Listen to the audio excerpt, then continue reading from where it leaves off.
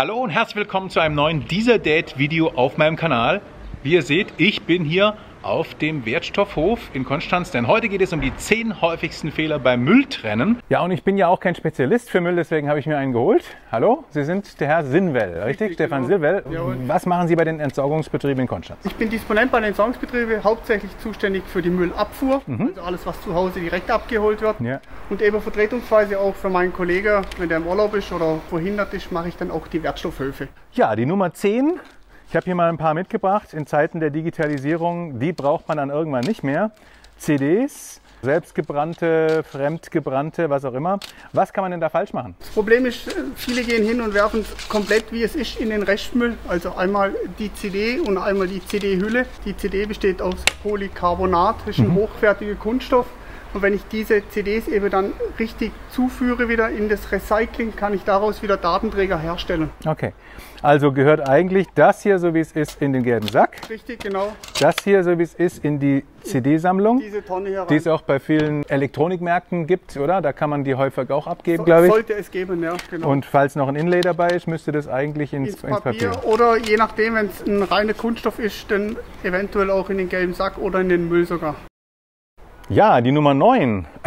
Es kommt halt immer wieder vor, dass solche Geräte hier kaputt gehen. Wie ist es denn? Ich würde sowas wahrscheinlich am ehesten in die Restmülltonne schmeißen, ist das richtig? Ja, leider nicht richtig. Der Föhn gehört einfach zum Elektronikschrott. Im Föhn habe ich erstens mal hochwertigen Kunststoff und sehr viele Elektronikteile wie zum Beispiel Kupfer. Und bei anderen Sachen habe ich sogar Goldanteile mit drinnen. Wenn ich das in die Verbrennung gehe, ist das für immer verloren. Gilt es für alle Kleinelektronik, dass die eigentlich auf den Wertstoffhof gehört? Entweder Wertstoffhof oder auch wieder der Handel. Der Handel nimmt es auch zurück. Ja, hier habe ich extra ein bisschen vom, vom gelben Sack bei uns mitgebracht. Hier, typische Verpackung, ähm, vegane Cevapcici, ist nicht so wichtig. Soll jetzt dieser Deckel hier dran oder weg? Aller vorteilhaft ist, wenn man das, was man auseinandernehmen kann, auch abzieht. Okay. Weil einfach viele verschiedene Kunststoffe sind und die Sortieranlage hat es um einiges einfacher, wenn es schon auseinander ist. Und hier habe ich noch ein schönes Beispiel, die gesunde Ketchupflasche.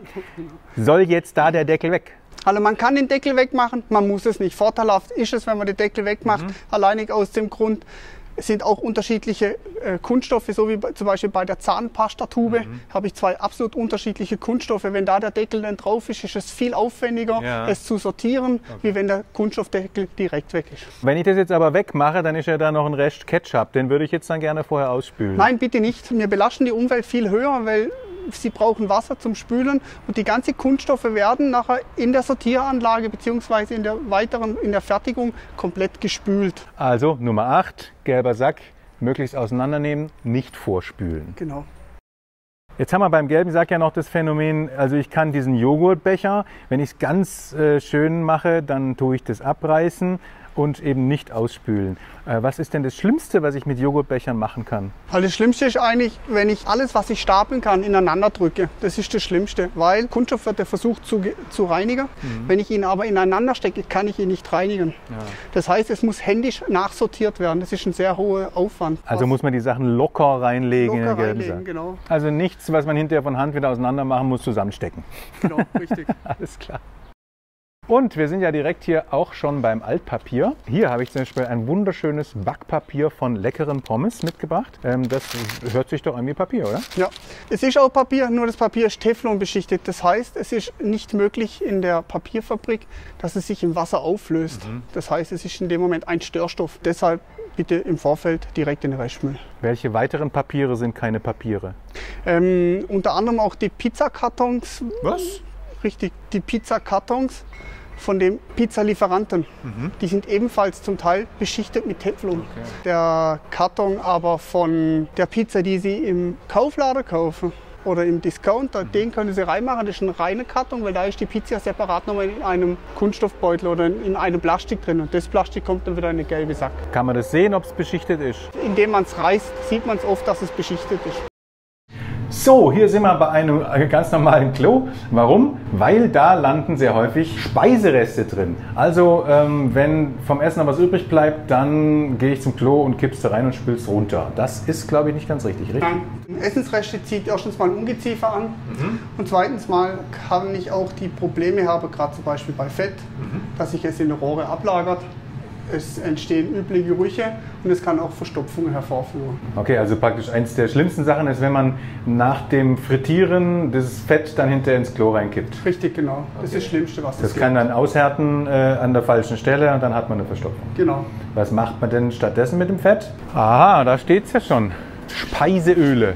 Mit der Pfanne kommt man dann her? Nein, nein. Viele haben einfach so ein Behältnis. Aha so aus Metall, Aha. so zweieinhalb Liter oder so. Da haben die das dann drin und bringen es dann eben hierher. Und normalerweise gehen aber Essensreste in den Biomüll? In den Biomüll, genau, richtig. Ja, wie ihr hier im Hintergrund deutlich sehen könnt, sind wir jetzt beim Glas gelandet. Da gibt es ja immer diese schönen Glassammelstellen mit den drei Farben, braun, grün und weiß. Ist es nicht eigentlich völlig wurscht und es wird am Schluss sowieso alles zusammengeworfen? Das stimmt überhaupt nicht. Das Gerücht geht immer wieder auf. Wir haben bei unseren Fahrzeugen drei Kammersysteme. Das heißt, ich habe eine Weißglaskammer, eine Grünglaskammer und eine Braunglaskammer. So wird es dann noch auch abgekippt. Wir haben einmal eine Art Kranen, wo das macht in die drei Kammern. Wir haben auch ein Eimerverfahren, wo das macht. Jetzt habe ich hier mal eine spezielle Flasche mitgebracht. Ist das Weißglas? Das ist jetzt Weißglas, ja. Also wichtig ist, es kommt nicht darauf an, was außen für eine Farbe ist, weil irgendwas draufklebt. Wichtig ist, was ist der Hauptbestand des Glases. Mhm. Übrigens, interessanter Zusatzfakt, wenn man nicht weiß, was für eine Farbe eine Flasche hat, oder wenn man nicht weiß, wohin damit, zum Beispiel hier bei dieser blauen, dann im Zweifelsfall ins Grünglas. Ich hätte zwar gedacht, braun sei das Richtige, aber das stimmt nicht. Wenn ihr was nicht zuordnen könnt, gehört es ins Grünglas. Was für Glas gehört denn nicht ins Glas? Ganz wichtig ist, dass keine Trinkgläser ins Glas kommen, keine Spiegel und ganz wichtig kein Porzellan. Okay. Die haben andere äh, Zusammensetzungen vom Glas und auch andere Schmelztemperaturen. Und dadurch kann es sein, dass es dann beim Gießen von dem neuen Glas zu Fremdeinschlüsse kommt, zu Luftblasen. Also eigentlich ist der Altglascontainer ein Flaschenglascontainer, richtig? Ja, richtig, genau. Okay, weil die eine bestimmte Eigenschaft haben und die können wieder verwertet werden. Richtig, genau, so ist es. Ja, und damit kommen wir zur Nummer zwei unserer zehn häufigsten Fehler. Deckel drauf oder runter. Und am besten daneben legen. Bitte Deckel drauf lassen. Drauf lassen? Drauf lassen oder wenn Sie es wirklich runter machen wollen, dann in den gelben Sack. Aber auf keinen Fall oben auf die Container legen. Ich glaube, da denken viele, sie machen was Gutes, weil es ist ja kein Glas. Und warum ist es dann kein Problem? Also warum Trinkglas hat ja, also hat ja auch eine falsche Eigenschaft. Ist richtig, ja. Aber die können ganz einfach in den Glashütten, wo das Glas halt hingeht, aussortiert werden. Das war die Nummer zwei. Bitte Deckel drauf lassen. Und zur Nummer eins kommen wir jetzt gleich. Jawohl. So, und nun kommen wir zur unschlagbaren Nummer 1 der zehn häufigsten Fehler. Es geht um den Biomüll und ein Biomüll ist ja so ein bisschen eine unangenehme Sache. Den hat man ja auch immer nicht so gerne zu Hause und deswegen äh, ist es ja naheliegend, dass man den Biomüll dann in eine Plastiktüte packt, damit er nicht so viel schmutzt. Ne?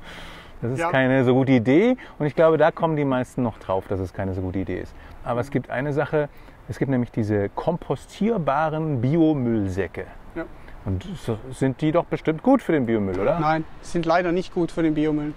Das Problem ist, da wir ja unseren Biomüll über ein Kompostwerk noch auf die Felder verteilen, haben wir noch dort äh, Kleinpartikel von Plastik auf den Feldern, auch bei den kompostierbaren Abfällen. Also wenn man es einigermaßen sauber haben will, dann so einen Kraftkarton äh, oder, ja, ein, genau. oder ein Zeitungspapier reinmachen. Entweder Zeitungspapier einwickeln oder es gibt ja mittlerweile auch diese Kartontüten, die man auch kaufen kann. Und dass die kompostierbaren Biomüllsäcke nicht kompostierbar sind, ist eigentlich ein Skandal und sollte eigentlich verboten werden. Eigentlich sollte es verboten werden, ja. Jetzt müssen wir hier weg, jetzt kommt ein Müllwagen. Genau.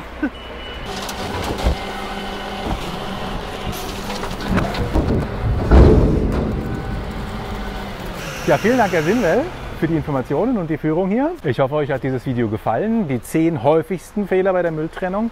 Und äh, ja, wenn ja, dann aktiviert die Glocke, abonniert diesen Kanal, liked dieses Video und schreibt gerne in die Kommentare, was ihr sonst noch hier auf dem Kanal sehen wollt. Und ich freue mich aufs nächste Mal. Bis dahin, euer dieser Dad.